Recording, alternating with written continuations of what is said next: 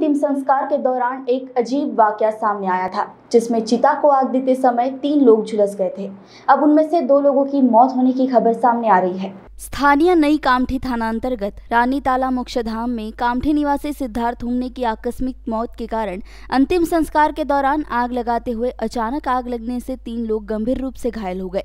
सुधीर डोंगरे आयु 45 वर्ष, दिलीप गजबिये, वृद्ध 60 साल और सुधाकर खोबरागड़े, उम्र 50 साल, खलाशी लाइन, नागसेन नगर, कामठी के तीनों निवासी बुरी तरह झुलस गए और गंभीर रूप से घायल हो गए। सुधीर डोंगरे और दिलीप गजबियों को इलाज के लिए कामठी के सरकारी अस्पताल में स्थानांतरित कर दिया गया। सुधीर डोंगरे जो थे नागपुर मेडिकल अस्पताल में इलाज के लिए कल रात दर्दनाक मौत हो गई, जबकि एक अन्य घायल दिलीप गजबिये की आज तड़के मौत हो गई।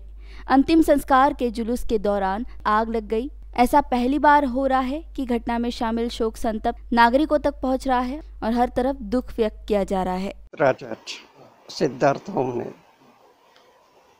तिथं गेलं, रचल्या सरण वगैरे आणि मग ते आग लावली.